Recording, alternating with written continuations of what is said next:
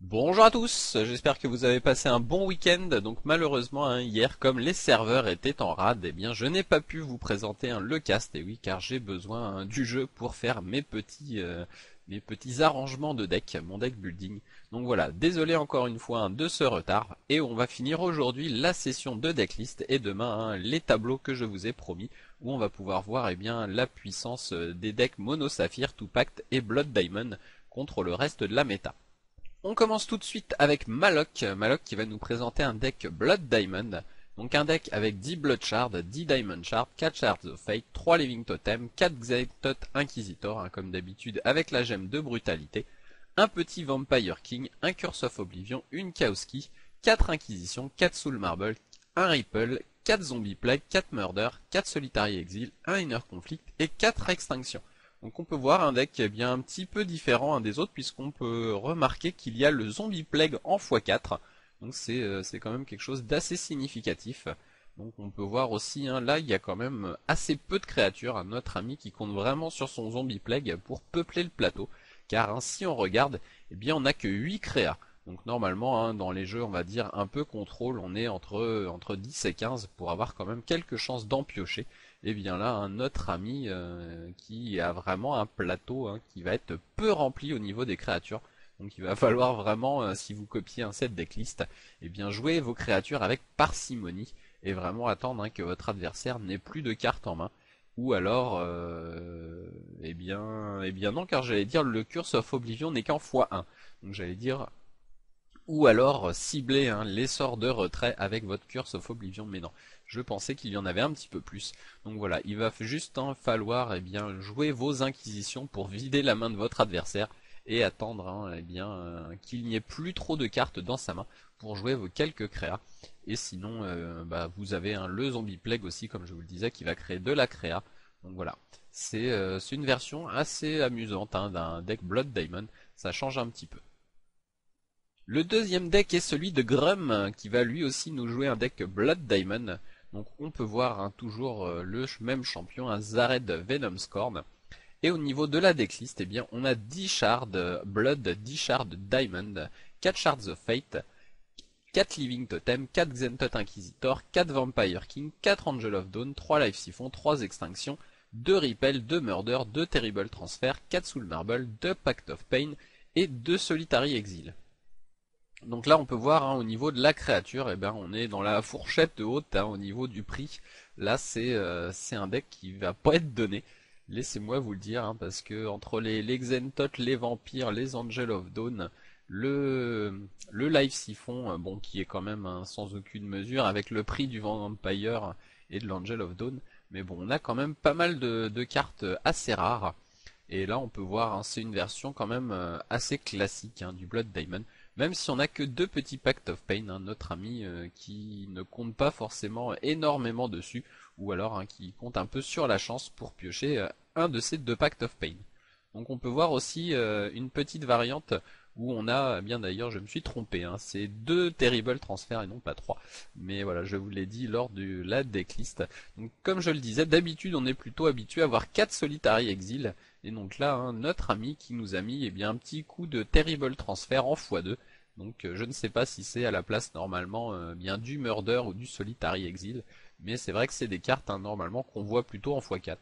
Donc euh, je parle surtout du solitary exil car c'est vrai que le murder eh bien maintenant on le voit un petit peu en x3 car euh, des fois nos amis ont des créatures artefacts ou ce genre de choses donc euh, des fois il perd un petit peu en efficacité. Du coup en général on choisit quand même le Solitary Exile hein, qui peut cibler bien des Soul Marble aussi en même temps que des créatures. Donc voilà, un deck bah pareil, un Blood Diamond qui est, qui est assez standard, bien qu'avec une deux petites modifications comparées à ses petits camarades. C'est au tour de G-Crawl qui va nous présenter son deck, un deck Blood Ruby. Comme je vous le disais, hein, c'est une combinaison de couleurs qu'on voit pas souvent mais que j'aime bien. Donc là, à voir euh, eh bien, de quoi ce deck va se composer. Donc nous avons 4 Ruby Pyromancer, 4 Giant Scorfly, 3 Royal, Royal pardon, Falconeer, 3 Vampire King, 4 Claw of the Mountain God, 4 Ashfire, 4 Burn, 4 Inquisition, 2 Pact of Pain, 4 Murder, 11 Blood Shard, 9 Ruby et 4 Shards of Fate. Donc comme je vous le disais, euh, une couleur qui est quand même assez puissante. Donc là, mine de rien, euh, si vous arrivez à poser ne serait-ce que euh, le clos ou le vampire avec du rubis pyromancien, bon bien sûr hein, on connaît le Royal Falconir avec le rubis pyromancien qui va pouvoir monter à des stades délirantes, mais ne serait-ce qu'un petit vampire 4-4 ou 5-4, ça peut, ça peut être vraiment sympathique. Après le Claw of the Mountain God, vous avez pu le voir lors d'un de, mes drafts, donc c'est une carte hein, qui est vraiment à double tranchant, car elle fait vraiment très très mal. Hein. Au début de votre tour, vous prenez 2 points de dégâts.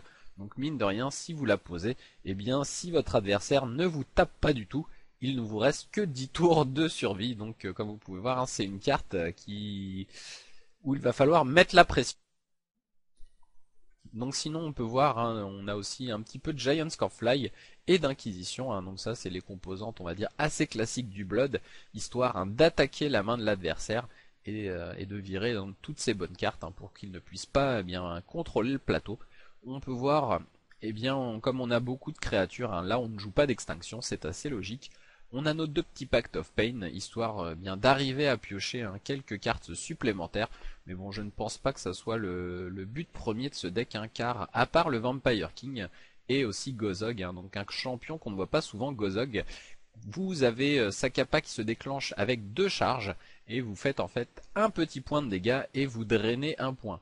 Donc en fait vous euh, l'adversaire perd un point de vie et vous vous en gagnez un. Donc comme je vous le disais, hein, à part Vampire euh, King et Gozog, on n'a pas de moyen de gagner 2 PV. Donc je suppose que le Pact of Pain, hein, comme je vous le disais, va être là pour faire piocher peut-être 3-4 cartes au, cours de la partie, mais pas beaucoup plus. Car comme vous avez pu le voir, hein, avec le Claw en x4, vous allez avoir vos PV qui vont déjà descendre grandement. Donc un plan de jeu de deck aggro qui a l'air quand même assez standard, même s'il est euh, un petit peu mid-range. On n'a pas vraiment beaucoup beaucoup de créatures hein, qui vont mettre la pression très tôt dans la partie. Tout va se dérouler hein, autour euh, des tours 3, 4, 5. Là, c'est là où vous allez mettre vos grosses créas comme euh, le Royal Falconir ou le Vampire King. Donc un jeu à voir, un jeu qui peut être, qui peut être assez, assez sympa. Passons maintenant à Juzam Jedi qui va jouer un deck Diamant Saphir, donc un deck avec Wyatt le Sapeur en champion, 12 Saphir, 10 Diamond, 4 Shards of Fate, 4 Ancestor Chosen, 4 Buccaneer, 3 Gralk, 4 Time Ripple, 4 Angel of Dawn, 4 Living Totem, 4 Protectorate Defender, 4 Solitary Exile et 3 Soul Marble. Donc un deck, bah, un deck Blood, euh, deck Blood Diamond, Saphir Diamant. Je suis traumatisé avec les Blood Diamond. Hein. J'en fais des cauchemars la nuit. Donc un deck comme je vous le disais, Saphir Diamant qui a l'air assez sympathique, même si euh, comparé aux autres versions qu'on avait avant. Hein. donc, par exemple, je pense au deck de Tower ou ce genre de choses. Eh ben on a quand même quelques petites différences. On peut voir hein, le Protectorate Defender. Donc une carte qu'on ne voit pas souvent mais, mais que j'aime beaucoup. Donc c'est une 2-1 et elle a un socket major, donc vous allez pouvoir mettre n'importe quelle gemme, une bonne gemme bien puissante, et quand euh, cette troupe meurt, eh bien elle retourne dans votre deck. Donc euh, c'est une, euh, troupe hein, qui est quand même eh bien assez polyvalente, vous pouvez faire un petit peu de tout, elle est pas chère, et en plus eh bien elle peut rapporter gros. Donc là notre ami n'a pas mis hein, la gemme qui, bah, qui équipait le Protectorate Defender, mais euh, comme euh, nous jouons un dus saphir diamant, on n'a que deux choix hein, qui sont plutôt logiques. Soit on met le petit saphir off mind, histoire de piocher des cartes, car hein, c'est vrai, au début de la partie, au tour 2, eh bien, si vous avez commencé en premier, si votre adversaire ne pose pas de cartes euh, de créatures à son tour 2, eh bien, au début de votre tour 3, vous allez pouvoir attaquer et piocher une petite carte.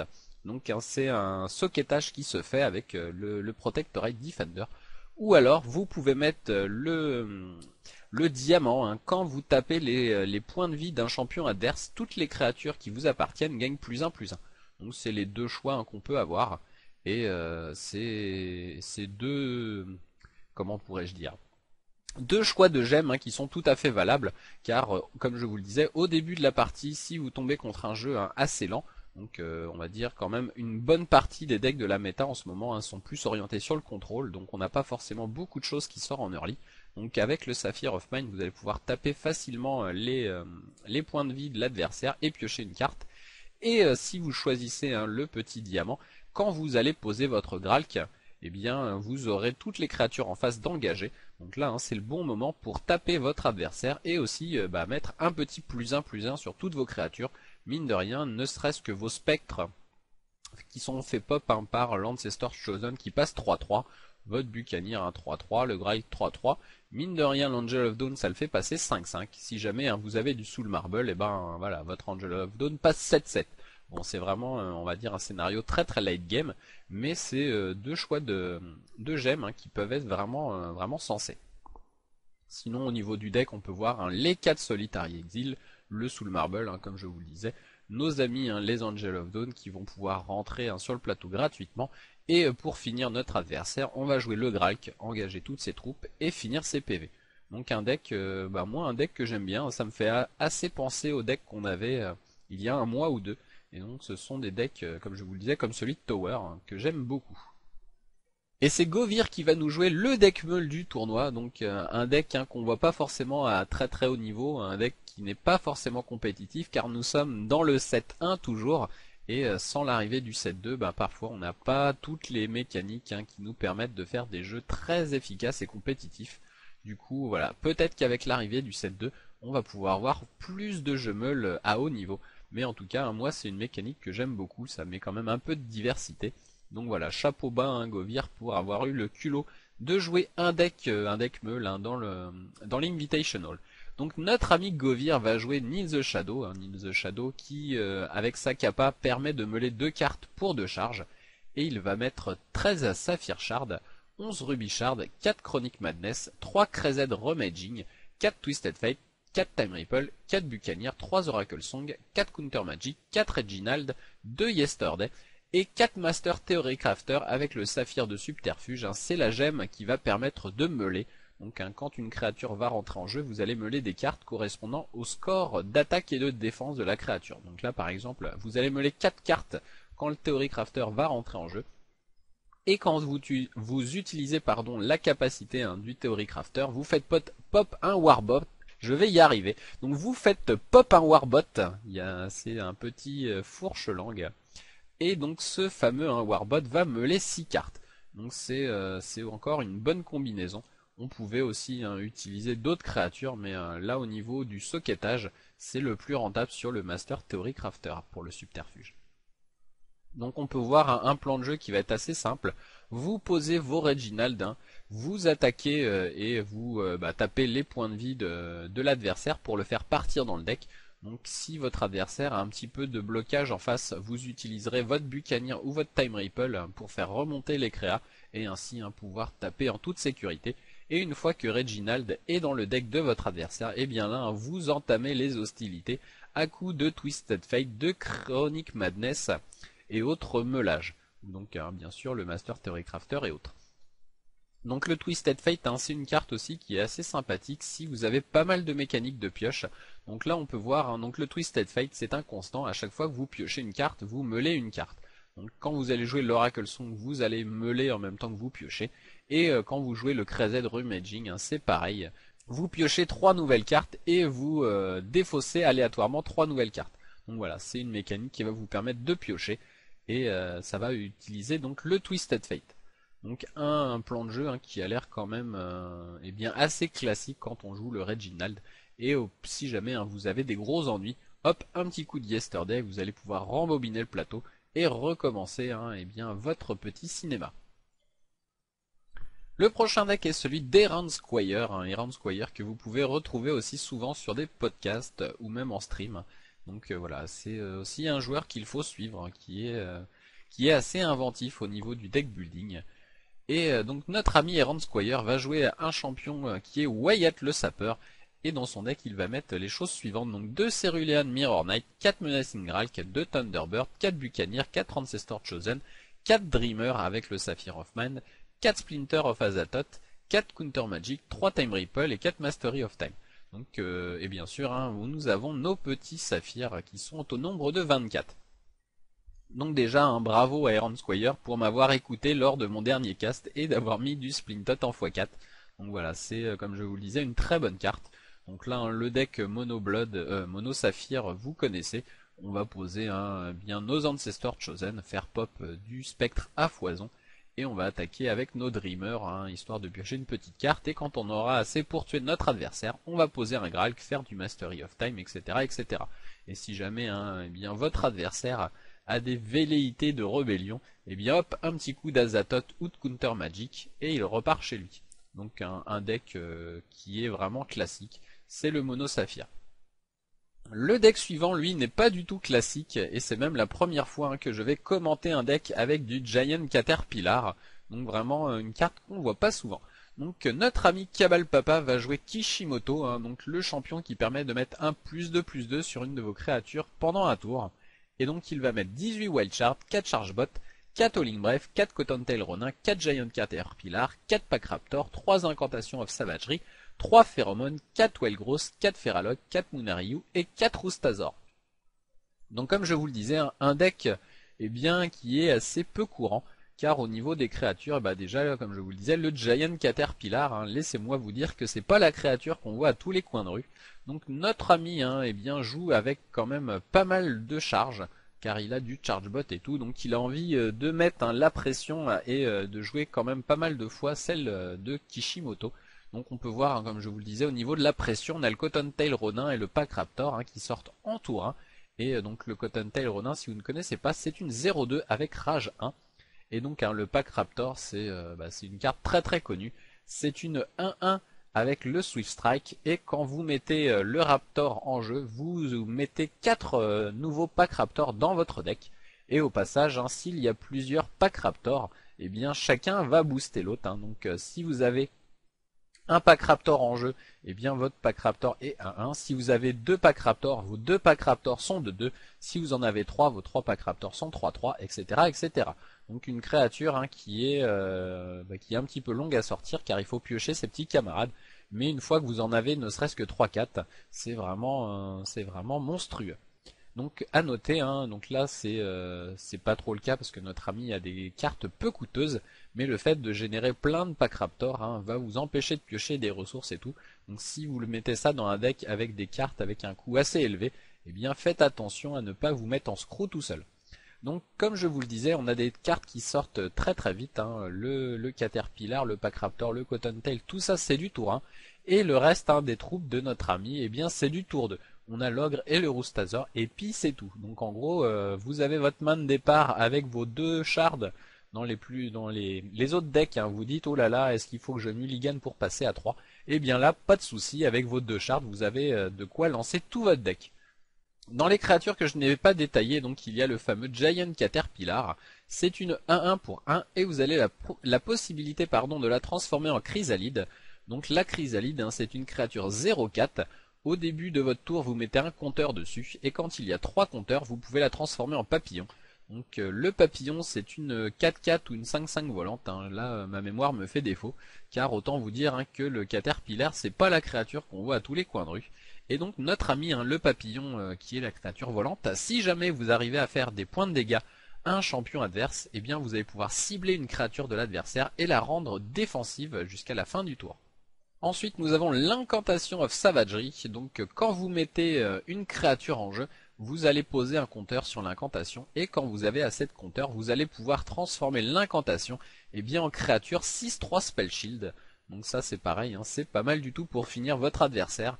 Et on a, euh, comme on peut voir, hein, au niveau euh, du boost de créature du Wild Gross, et on a surtout hein, la grosse fourberie, c'est la phéromone.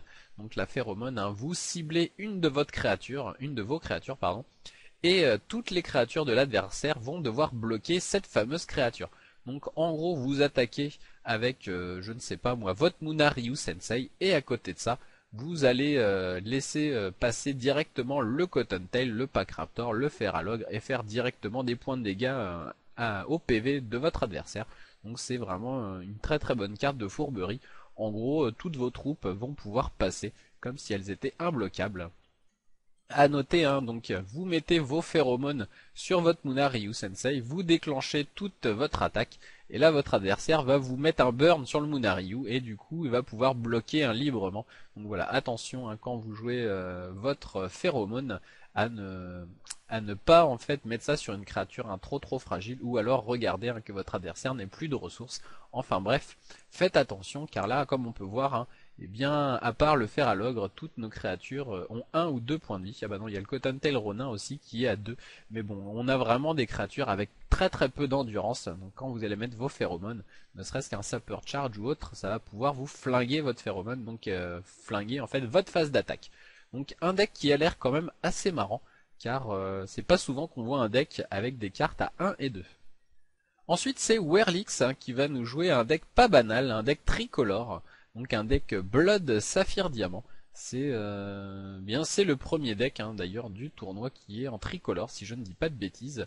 Et euh, si je dis des bêtises, eh bien en tout cas c'est le seul deck qui est avec ces trois combinaisons de couleurs. Là je suis sûr de ne pas me tromper.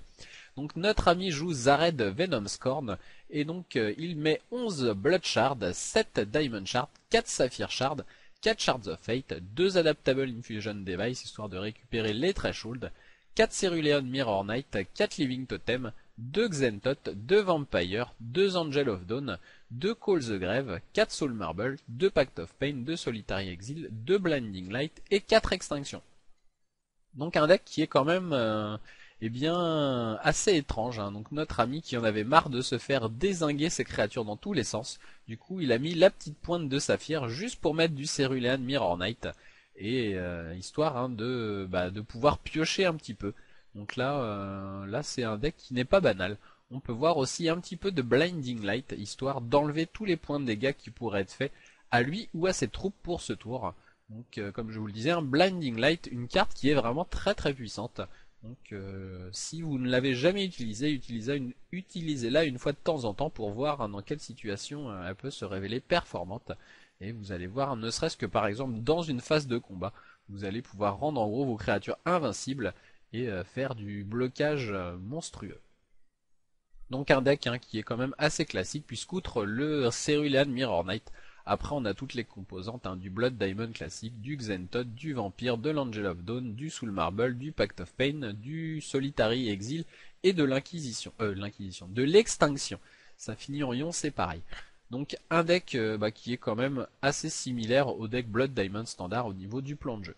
Et on va tout de suite regarder le dernier deck. Donc comme je vous disais euh, pour notre ami Werlix, un deck assez standard au niveau du plan de jeu Blood Diamond.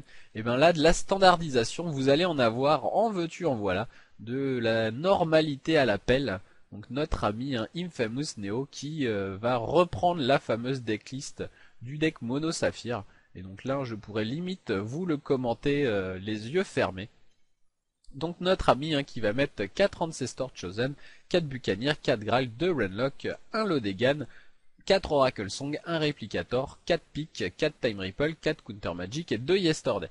Donc là, la seule différence notable avec les decks de ses petits camarades, c'est qu'au lieu de mettre 2 Prophètes of Lodegan, eh bien il choisit de, n'en mettre qu'un seul et de jouer le Replicator Gambit, lui aussi en x1. Donc euh, voilà, c'est en gros la seule différence avec les autres decks. On peut voir aussi hein, le Yesterday qui est en x4, hein. parfois c'est un petit peu moins, mais bon voilà, euh, c'est la seule différence, il n'y a pas de vraiment de variation très notable hein, comparé à, tous les decks mono saphir que je vous ai présentés. Donc il faudrait voir exactement les chiffres, mais je pense qu'il doit y en avoir au moins 7 ou 8 sur les, les 32 ou 33. Merci à tous d'avoir suivi cette vidéo. N'oubliez pas maintenant tous les mercredis, je fais gagner plein de cartes. Donc si vous êtes un joueur débutant, hein, vous allez pouvoir récupérer eh des cartes en commune ou en co à foison. Et euh, si vous n'êtes pas un débutant, eh il y a quand même des petits cadeaux hein, qui peuvent vous intéresser. Donc n'hésitez pas hein, à passer nombreux sur le Twitch. C'est toujours tous les mercredis de 19h, 19h à 20h. Donc merci à tous d'avoir suivi cette vidéo et je vous dis à bientôt.